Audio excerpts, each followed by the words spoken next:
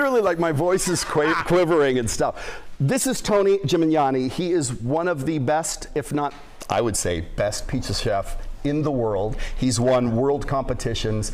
And he is just about to descend on Folsom. When I found that out, I was freaking out. Seriously, there's a lot of people. Tamara Berg, also a major fan of your pizza too. If you've never been to his restaurant in San Francisco, I was the second person in line. Two weeks ago Sunday, by the time you opened a half hour later, there were 70 people behind me. So be prepared to wait.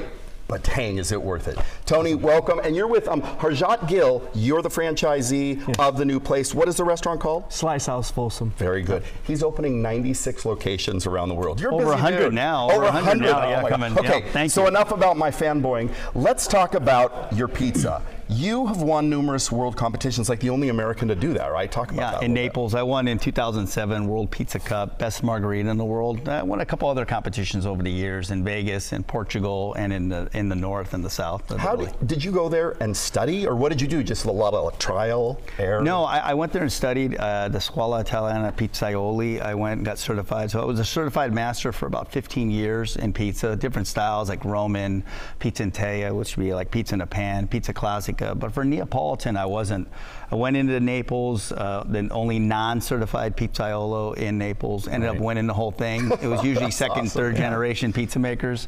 So you know, California goes in. You know, it wasn't when, in Napoli. It's different. It's like you win in Naples. Outside of it, even like somebody from Roma or like you know Sicily, it, it's like Naples is Naples. Right, It's yeah, yeah, different. yeah, 100%. And uh, so it's cool. And clearly, you were a fan. Like, had you had it and said, "I want to do this," or I had it once, and I knew I had to be a part of it. Right. And the fact that Tony's, you know, a partner today is uh, truly a blessing.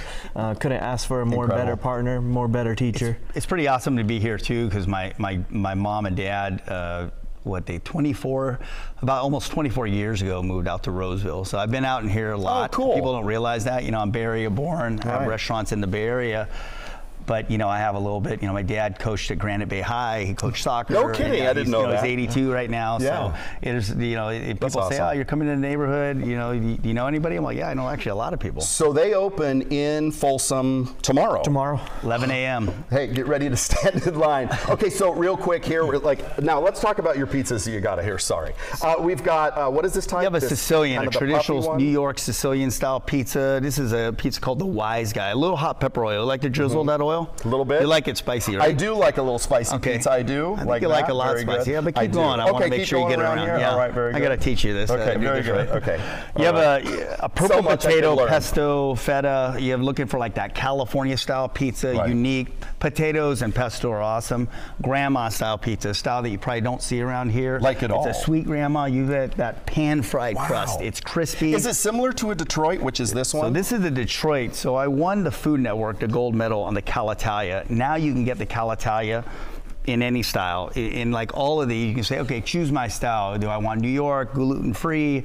Do I want to make a vegan option? Do I want Detroit? And they say, I want that Calitalia, that that pizza that I want on the Food Network. So you have shaved Parmigiano Reggiano. Perfect. And then you're going to finish it with this Ponti glaze, this Ponti balsamic glaze. And when you have that, you look at that, you're going to go zigzag that around. You have that gorgonzola, prosciutto di Parma, a little bit of sweet fig. When you bite into this, it's super mm. delicious. It's great. Guys, I, I hate this because I just said, Teo, we got to wrap it up here. We- I am so excited. I can't wait. You open tomorrow.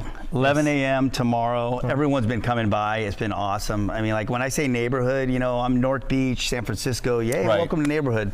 There's, I There we haven't seen more people say welcome to Folsom, That's welcome awesome. to our neighborhood. Honor. Thank you very Seriously. much. Appreciate it. Very good. Hey, we've got a couple great pizza places in this area. Watch out.